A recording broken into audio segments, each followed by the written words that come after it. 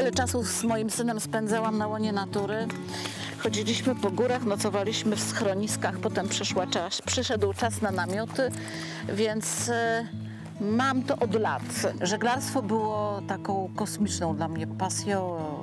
Uwielbiałam po prostu spędzać czas na wodzie. E, Trochę z pogardą odnosiłam się do turystyki żeglarskiej. takim duchu byliśmy trenowani. Nowy program Emilii Wierzbicki. Poza polityką. W każdy piątek o 22.